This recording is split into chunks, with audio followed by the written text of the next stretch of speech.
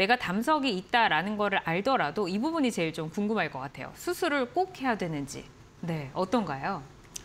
어, 앞에서도 설명드렸듯이 일단 증상이 있는 그리고 합병증이 있는 담석은 반드시 치료를 해야 됩니다. 예.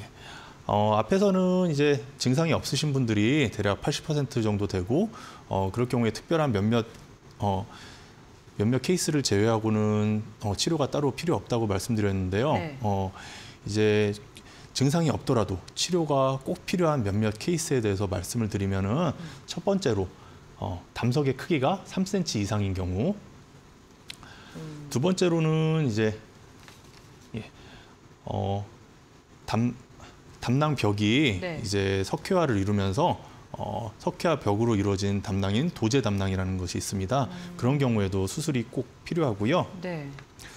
그리고 담석과 담낭 용종이 어, 같이 발견된 경우. 그리고 담낭 벽이 두꺼워지면서 어, 기능 상실이 있는 경우. 또 췌장관과 어, 함류 부분에 이상이 있는 췌담관 함류 이상이 있는 경우. 그럴 경우에는 어, 당장은 증상이 없더라도 반드시 치료가 필요합니다. 이럴 경우에는 합병증 가능성이 높고 무엇보다도 담낭암으로 전환될 가능성이 굉장히 높기 때문에 당장 증상은 없더라도 반드시 치료를 하실 것을 권하고 있습니다. 네. 그러니까 이제 보통은 80%에서는 증상이 없어서 치료가 필요가 없지만 무증상의 경우에도 이러한 상황이 있을 경우에는 꼭 치료를 받으셔야 된다. 이 담낭암까지 좀 번질 수 있다라고 말씀을 하셨는데 어, 이 합병증에 대해서 조금 더 자세하게 들어볼까요? 어떤 합병증들이 또 발생을 할 수가 있나요? 어, 담석을 치료 안 하고 그대로 방치하거나 어, 무한정 미뤘을 경우에는 어, 이제 합병증 가능성도 있습니다. 어, 단순한 통증이 아니라 이 합병증은 굉장히 위험하고 네. 치명적일 수가 있습니다. 어, 담석의 위치에 따라서 어, 이제 합병증 종류도 달라지는데요.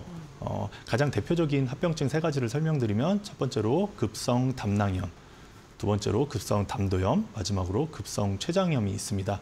각각에 대해서 설명드리면 급성 담낭염 같은 경우에는 어, 담석에 아, 담낭에 있는 담석이 담낭관 입구를 막아서 생기게 됩니다. 어, 담성 담성 산통과는 달리 이 돌이 빠지지가 않고 그 자리에 완전히 박혀서 빠지지 않을 경우에 이제 생기게 됩니다. 처음에는 무균성 염증으로 염증만 발생하는데 시간이 더 지나게 되면 소장에서부터 세균이 올라와서 어, 감염성 염증으로 진행하게 됩니다. 이렇게 이제 감염이 되게 되면 열도 나고 담낭도 더 붓게 되고요. 붓게 되면 이제 더 진행이 됐을 경우에 담낭으로 가는 혈관이 막히면서 결국에는 담낭이 썩게 됩니다. 이게 더 진행이 됐을 경우에는 어, 담낭 벽이 허물어지면서 네. 담즙, 감염된 담즙이 복강 안으로 퍼지면서 심각한 복강 아, 복막염이나 아니면 폐혈증에 빠질 수가 있습니다. 그렇군요. 이렇게 예. 그냥 염증으로 되어 있어서 염증 정도 발생하나 보다 했는데 그게 아니라 이제 심각한 합병증으로 번질 수가 있네요. 예, 그리고 급성 당낭염 말고 급성 담도염과 췌장염에 대해서 설명드리면 급성 담도염은 담도 주변에 있는 담즙이 감염이 된 상태입니다. 네. 어, 또 열이 굉장히 많이 나고 환자가 굉장히 병약해질 수 있고 통증도 굉장히 심합니다. 특히나 돌이 이제 어, 담도 입구를 담도 중간을 막았을 경우에는 황달이라든지 간 기능 이상, 간 손상을 유발할 수 있고 심할 경우에는 간 내 농양이라든지 심각한 폐혈증에 빠질 수가 있습니다. 급성 췌장염 같은 경우에는 어, 담도를 넘어가던 이제 담석이 쭉 내려가다가 끝에 쪽에서 췌장액이 흐르는 췌장관을 막았을 경우에 네. 발생하게 됩니다. 그럴 경우에는 췌장관 안에 췌장액이 저류가 되는데요. 췌장액은 어, 우리 탄수화물이라든지 단백질, 지방을 소화시킬 수 있는 굉장히 강한 소화액입니다. 이렇게 저류됐을 경우에는 그냥 가만히 있는 게 아니라 자가 소화를 시킬 수가 있습니다. 즉 췌장이랑 그 주변 장기를 완전히 다 녹여버릴 수 있다는 겁니다. 그렇게 될 경우에 어, 주변 장기 손상뿐만 아니라 굉장히 또 심각한 폐혈증으로 빠질 수가 있습니다. 지금 이제 세 가지 합병증을 말씀드렸는데 네.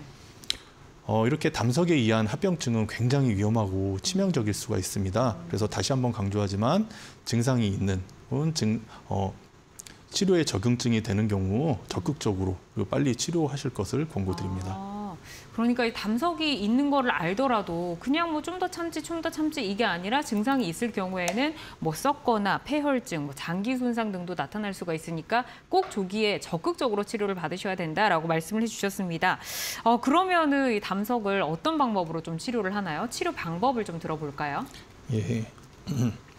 우선 담낭 결석 같은 경우에는 표준 치료법은 수술적 치료입니다.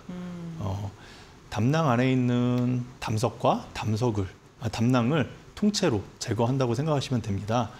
어, 수술은 담낭을 이제 주변 장기로부터 박리를 하고 그리고 담낭관과 담낭 동맥을 박리한 후에 개별적으로 결찰하고 어, 간이랑 붙어 있는 이 담낭을 떼서 어, 결국에는 담낭과 담석을 같이 복강 내로 빼내면서 이제 수술이 마무리가 되는데요.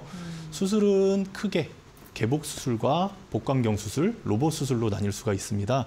복강경 수술은 이제 절개 개수에 따라서 어, 이제 일반 복강경과 어, 단일 복강경으로 나뉠 수가 있고요.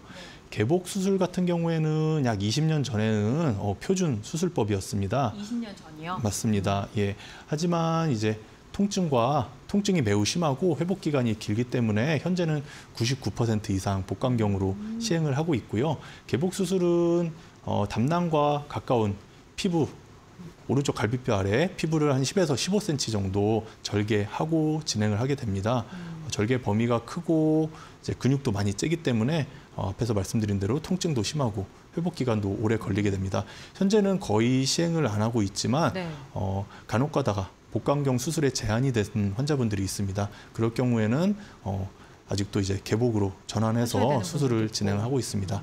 어, 복강경 수술은 앞서 말씀드린 대로 담낭 결석 수술의 표준 어, 수술법입니다. 어, 담, 어, 복강경 수술은 개복 수술이랑은 좀 달리 어, 복, 배에다가 몇 개 이제 구멍을 뚫고 거기에 투관침을 꽂고 그 투관침을 통해서 통해서 공기를 삽입하여서 복강 안에 어느 정도 공간을 만든 후에 어, 투관침을 통해서 카메라와 기구를 넣어서 수술을 하는 방법입니다. 어, 복, 담낭 절제술 같은 경우에는 배꼽 아래, 기본적으로 배꼽 아래와 명치, 오른쪽 갈비뼈 아래 세개에서네개의 구멍을 뚫고 시행을 하게 됩니다. 어, 절개 범위가 개복 수술에 비해서 굉장히 적고 수술 시간도 짧기 때문에 회복과 통증에서 굉장히 큰 장점이 있습니다. 단일공 복강경 수술 같은 경우에는 어, 수술 방식은 일반 복강경과 차이가 없는데 절개 부위가 좀 다릅니다. 배꼽을 위아래로 조금 더 절개해서 배꼽 하나로 이제 카메라와 기구가 들어가서 수술을 하게 됩니다. 아무래도 어, 배꼽에 이제 상처가 생기기 때문에 어, 수술 후에는 흉터가 거의 남지 않는 미용적인 장점을 가지고 있습니다. 하지만 이제 제한된 공간, 구멍 하나로 이제 수술을 하다 보니까 어, 수술적 시야도 좀 제한되고 기구 조작에 있어서도 어, 조금은 어려움이 있습니다. 그래서 모든 환자에게 다 적용되는 것은 아닙니다. 어, 다음은 이게 로봇 수술인 건가요? 예, 맞습니다. 로봇 수술은 최근에 많이 곽광을 받고 있는 수술이고요. 네. 복강경과의 차이점을 말씀드리면 앞에서 말씀드린 대로 이제 어, 투관침을 넣고 복강에 공기를 넣고 수술하는 법은 같지만 복강경 수술 같은 경우에는 수술자가 직접 기구를 잡고 어, 수술을 하게 되는데 네. 로봇 수술 같은 경우는 이제 기구 대신에 로봇 팔이 들어가서 수술을 하게 됩니다. 로봇이 이렇게 막 자동으로 수술하는 건 아니고요. 네. 우리 태권브이 조종하듯이 어, 아. 수술자가 어, 조종실에 가서 조종을 하면은 로봇을 그- 조종해서 맞습니다. 그 명령을 받고 로봇 팔이 이제 움직여서 수술을 하게 됩니다. 어, 로봇 수술은 복강경과 비교했을 때 몇 가지 또 큰 장점이 있습니다. 네. 로봇 수술에서 쓰는 카메라가 어, 확대가 잘 되고 3D 카메라입니다. 그래서 원근감이 좋고 어, 시야가 확대되고 시야도 넓기 때문에 그런 장점이 있고요. 또 로봇 팔, 로봇 팔이 사람의 손가락처럼 다관절로 움직입니다. 어, 복강경 같은 경우에는 이제 단일 관절로 움직이고요. 그렇기 때문에 어, 이제 조금 더 정교하고 세밀한 수술이 가능하게 됩니다. 오, 어, 또. 로봇팔 같은 경우에는 이제 불필요한 움직임이 적고 흔들림이 적기 때문에 아무래도 수술 부위에 자극이 적어서 어, 회복도 좀 더 맞습니다. 통증이랑 회복에 그래도 또 많은 장점이 있습니다. 네. 다음 거는 담낭 배액술 이건 뭔가요? 어, 담낭 배액술 같은 경우에는 어, 치료법이라기보다는 응급 수술 이제 필요한 상태인데 환자의 나이나 기저질환, 전신 상태 때문에 당장 응급 수술을 하지 못하는 경우가 있습니다. 그럴 경우에 시행을 할 수 있고 어, 이 같은 경우는 피부와 담낭에 길을 만들어줘서 일단 염증이 생긴 담즙을 바깥쪽으로 빼내줘서 염증부터 치료를 하는 겁니다. 이거는 근본적인 치료법이라기보다는 임시 방편적인 치료법이고요. 네. 그래서 염증이 가라앉고 환자 전신 상태가 회복한 후에는 결국에는 어, 담낭 절제술을 추후에 시행을 해야 됩니다. 네. 마지막 사진인가요? 예, 어, 담낭 담석의 경우 앞에서 말씀드린 대로 수술적 치료가 이제 표준적인 치료법이라고 말씀드렸는데 담도 담석의 경우 내시경 치료법이 어, 치- 표준 치료법입니다. 내시경을 쭉 삽입하여서 내시경 입구를 어, 담즙이 어, 내려가는 이제 담도 입구까지 삽입한 후에 그곳에서 기구를 통해서 어, 담즙이 내려가는 통로를 넓혀주고 기구를 다시 넣어서 담석을 빼내게 됩니다. 담석이 클 경우에는 이거를 이제 부셔가지고 어, 조각을 내가지고 빼는 경우도 있습니다. 어, 이제 수술에 비해서 덜 침습적이고 아무래도 회복 기간이 더 어, 짧기 때문에 어, 담도 결석에 있어서는 표준 치료법으로 어, 이제 확립되었습니다. 네, 로봇 수술과 또 이렇게 담석을 깨뜨려서 나오는 조영술까지 저희가 살펴봤습니다.